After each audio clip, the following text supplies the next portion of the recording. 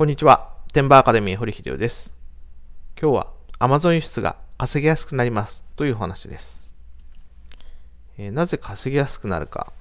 えー、売り主が減って購入者が増えます。これはね、えー、今まで、まあ、アカウントをたくさん作ってきた、え売り主、まあ、悪いことをするためにね、えアカウントをたくさん作ってきた売り主がいるんですけど、えそういった売り主がアカウントを作れなく、えなります。えこれはね、えどういうことかというと、新しいアカウントを登録するのに、え ID と住所の証明が必要になりました。今まではね、ID もいらなくて、え銀行口座があれば作れちゃったわけなんですけど、Amazon はおそらくアメリカの感覚でね、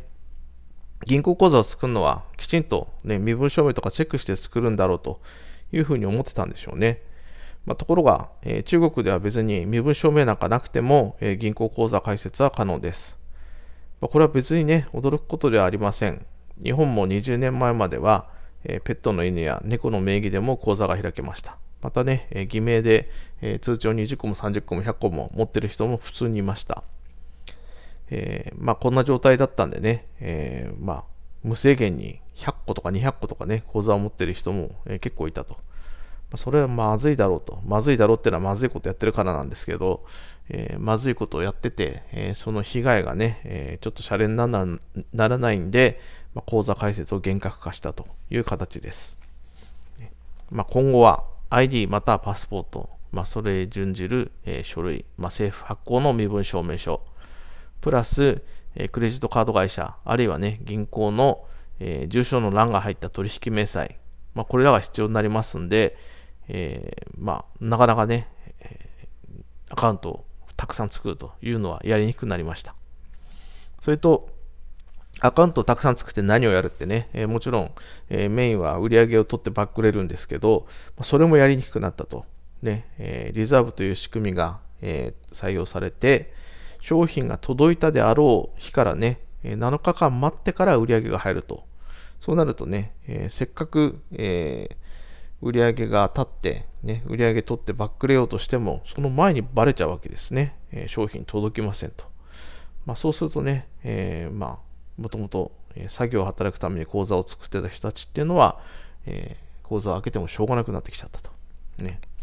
まあ、作業を働く人たちが実態より安くするおかげで、売れるものを実態より安くするおかげでね、それに引っ張られて、えー、価格も下がってたという面もありますんで、えー、そういうのが今後なくなっていくということです。でまたね、えー、さらに、えー、一部もう新規アカウントのね、えー、開設が招待制になってると。中国なんていうのはね、参入した人は、え、招待した人だけで、え、参入してるという形です。やりたいって言っても、これからね、新規アカウントを作って中国で売りたいって言ってもできないわけですね。まあ、そういう状態になってますんで、今現在、真面目にね、きちんと Amazon 室で運営している人は、えー、今後は需給関係が良くなるんで稼ぎやすくなります。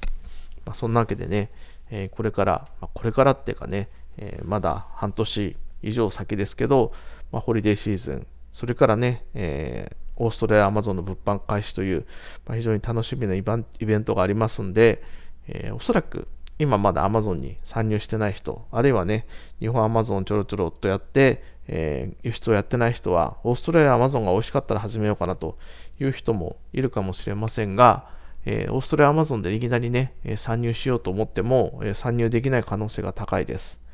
まあ今の機会にね、えー、アマゾン輸出始めてみてはいかがでしょうか。